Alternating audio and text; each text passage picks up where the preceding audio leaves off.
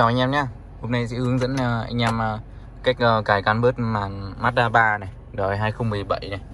Đấy, Con màn lên con màn A5 này Những con màn mà nó thông số hệ kém ấy Anh em vào cài đặt này. Đấy, Anh em vào cài đặt, anh em vào hệ thống Vào nhà máy. Này Đấy, Anh em cài 3368 này.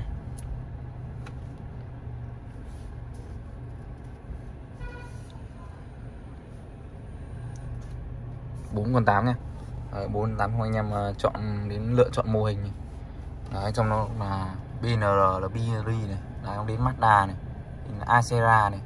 Đấy, xong thì cứ chuyện là ok thì nó mới là được. Thì nó nhận các nút này tăng giảm âm lượng các kiểu. Dưới này cũng thế xoay các kiểu như này nó mới được nhá. Con này nó còn báo cả mở cửa nữa.